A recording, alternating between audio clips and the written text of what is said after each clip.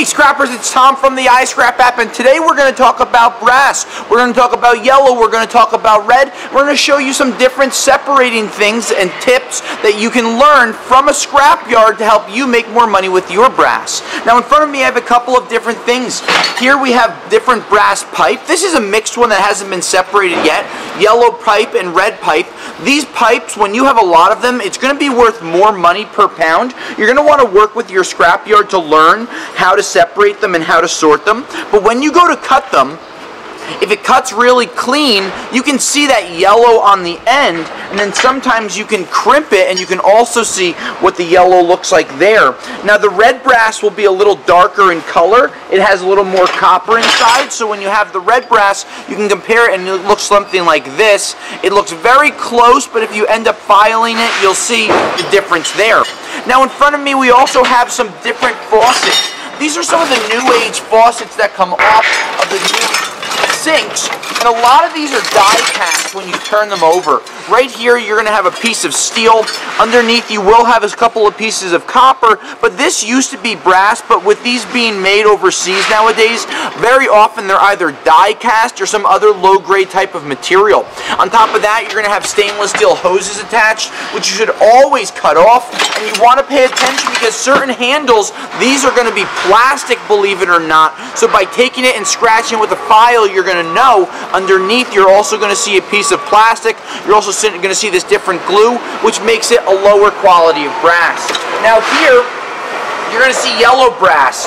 While the box is in full because we just started it, what you can see is the color. The color is yellow, and if you compare it to copper or another type of material, it's going to give you a really good idea.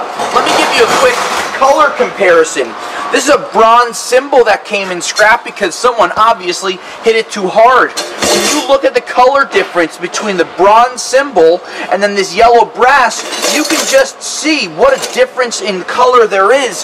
This has much more copper inside of it. That's why it's red. Not all cymbals are going to be bronze. Many of them could be a yellow brass, and you will know just by looking at the color, especially when you have something to compare it to. Now, while we're on the subject of red brass, let's go over to the red brass box. The red brass box is going to be exactly that. Red brass, also known as bronze, also known as comp, which is short for composition.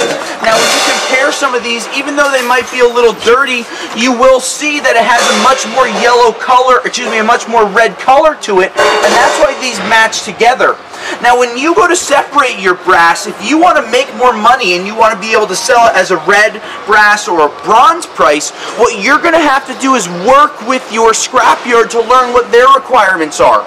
Sometimes just separating it is one thing, but little things that have to be done, such as cutting it, when you look in a box like this, you have a big pipe here, you have a fitting that had a piece of steel attached to it that you cannot sell, but by cutting this off, you could create a red brass. Now while something like this is heavy, and you might say, hey Tom, why wouldn't the scrapyard buy it for a red brass? Well, once that steel is inside, you're never going to be able to make more money with it as a scrapyard because when you hit that magnet to it and it sticks, right?